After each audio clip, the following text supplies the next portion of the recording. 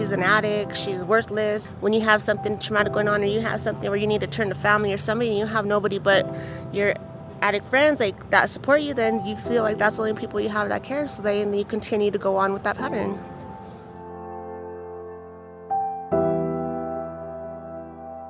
There was one night, um, actually I had just gotten, my sister had just gotten out of jail. Um, her boyfriend that she was dating, really no good guy, but um, he kept telling her, oh, the cops are coming, the cops are coming. She had it in her head for some reason that she had a warrant still because he told her that. So he had made this shot that was just so dark. I even said that, that's way too dark. That's even too dark for three people, you know? So she freaked out, grabbed it, ran to the closet, and did it. Well, then luckily I was going to the store, but something told me to go back. I forgot my cigarettes or something. Went back in, and I was looking for my sister because I was gonna take her with me, and couldn't find her and couldn't find her.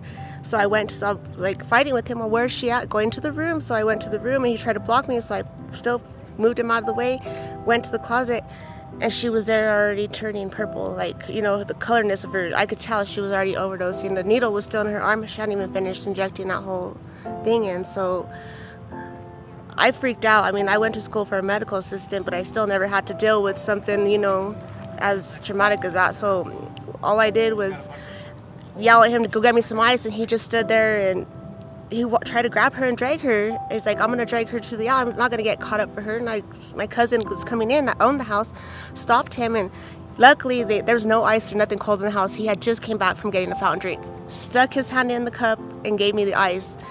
So I didn't know anything if that's how you did it, but they said get the ice and you know put it like on their private, so like shocks them back. And luckily, I did right when I was about to try just to start performing CPR. So thank God I didn't have to start the CPR or anything like that. But the ice it like shocked her back, and she like gasped her gasped back for air, and she was freaking out. Like you know she wasn't quite sure. It took her I want to say about good maybe five minutes to come out of it. You know just her to come to or where she was even at and who was around her and stuff like that. So I mean I was kind of in shock myself because I had never had to do that. So, you know, when I did, and nobody had Narcan at the time because it was barely when they were starting to come around the valley, the heroin.